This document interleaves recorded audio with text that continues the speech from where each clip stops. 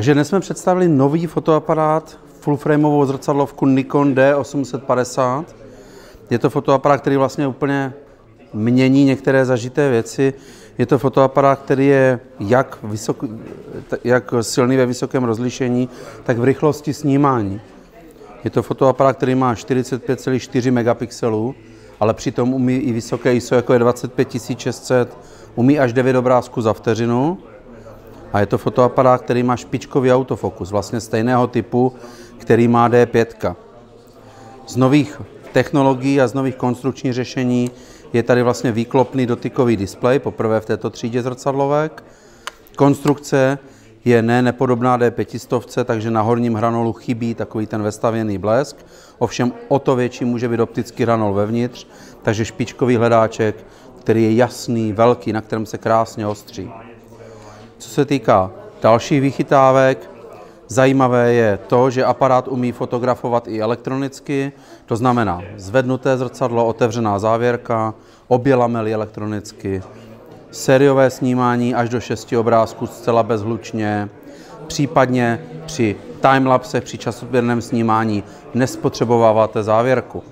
Jo, v běžném časozběru, kde jste jindy použili 2000 cvaknutí závěrky, tak tady použijete jedno, což je velmi příjemné. Pochopitelně F-Bayonet, karty typu XQD a SD, čili double slot. Další zajímavé věci jsou velmi výkonná baterie. Tam NL 15A v tomto aparátu až 1800 obrázků na jedno nabití. 4K video bez kropu.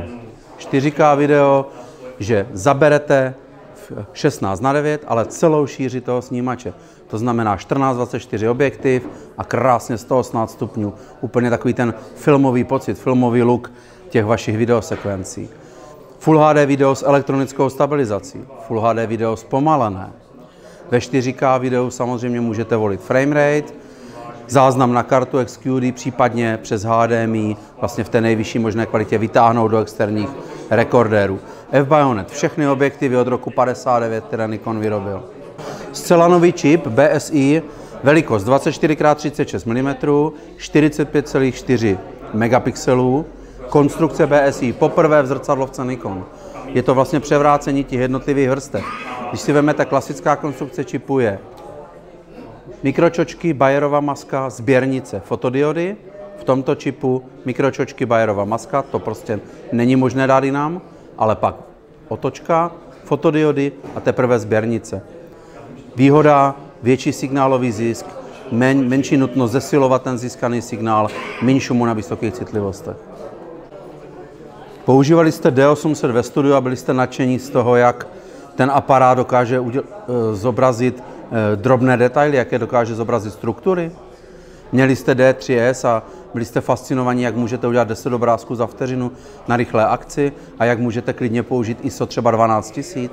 Tak si představte tyto dva aparáty dohromady.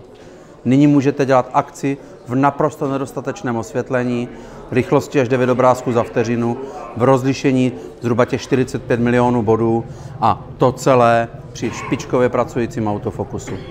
Takže rozlišení a rychlost v jednom přístroji.